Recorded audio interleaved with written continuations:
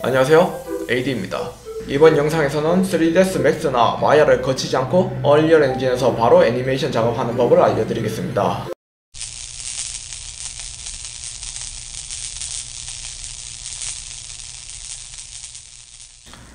3인칭 그리고 이름은 애니모로 시작할게요. 간단한 동작을 만들어 보면서 베이킹 과정을 설명하도록 할게요. 로딩은 조금 기다려 주시고요 뭐 map 전체를 사용하는 건 아니고요. 먼저 시작용 콘텐츠에서 캐릭터 그리고 마네킹 그리고 rig에서 control rig을 꺼내줍니다. rig을 꺼내면 시퀀스가 바로 활성화되는데요. 먼저 자동 keyframe 버튼을 활성화해줍니다. 애니메이션 baking이기 때문에 전체 시퀀스 프레임을 조금 줄여주세요. 격리의 동작을 한번 만들어 볼 건데요. 그러려면 먼저 차렷 자세를 만들어야 합니다 적당히 관절을 구부려서 차렷 자세를 만들어 줄게요. Shift 1을 눌러서 선택 모드로 돌아가서 차렷 자세가 잘 되었는지 한번 확인해 볼게요. 잘 된 것 같은데요. 컨트롤 2은 애니메이션 모드에서 다시 활성화할 수 있습니다. 단축키는 Shift 6번이고요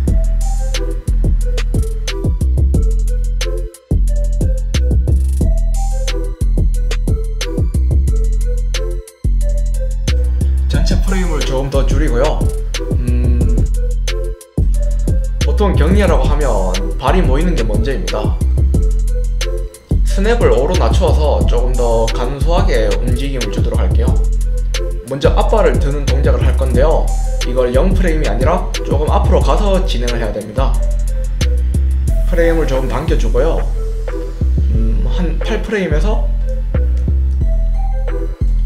왼발을 조금 당기고 조금 위로 들어줄게요. 그리고 프레임을 조금 더 앞으로 간 다음에 이제 발이 모이는 위치에 놓아주시면 됩니다. 시퀀스를 통해서 결과물을 바로 확인할 수 있습니다.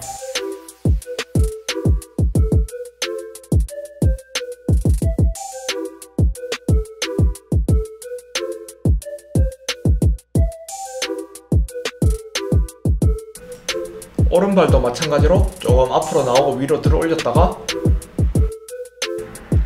프레임을 조금 더 진행한 다음에 이제 당기는 위치로 발을 놓아주시면 됩니다.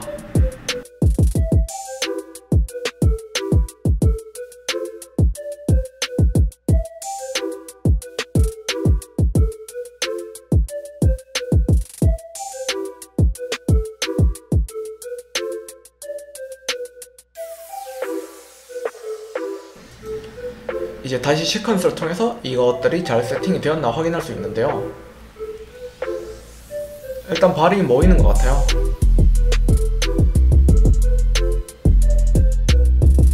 이제 거수 격리를 할 건데요. 프레임을 앞으로 조금 더 뺀 다음에 팔을 펼 준비를 해주세요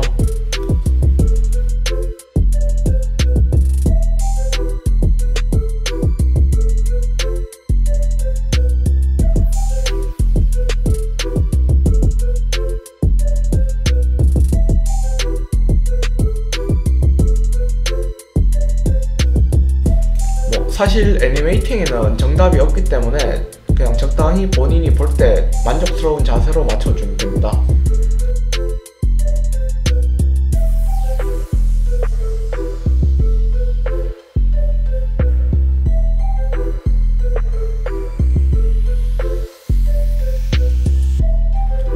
쉬프트로 다섯 객체를 한 번에 지정해서 손가락을 펴줄 수 있어요. 다른 손가락도 똑같이 작업을 해줍니다.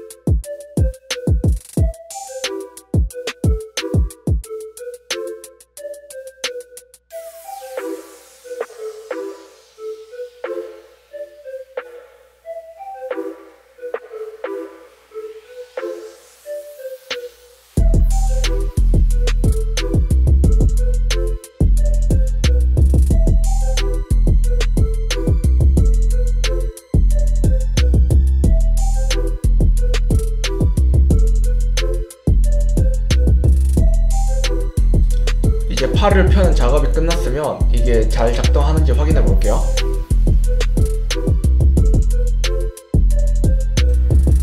양발을 모으고 팔을 펴는 것까지. 이제 팔을 접어서 거수 격려를 하면 끝인데요.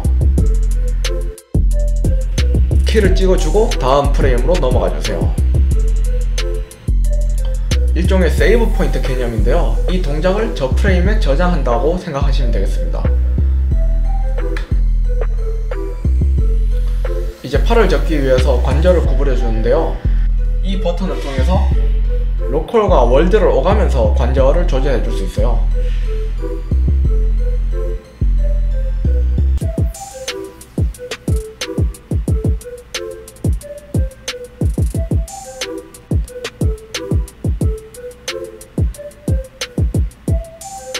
뭐 본인 생각할 때 편한 각도 조절이 되는 포인트를 정해주면 좋은데요.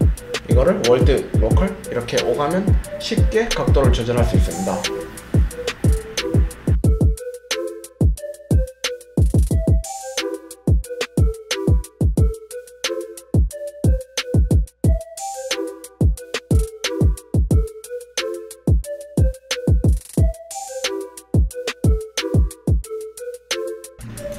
뭐 전체적으로 세팅이 다 끝났으면 잘 작동하는지 확인을 해보겠습니다. 발을 모으고 격리하는 것까지.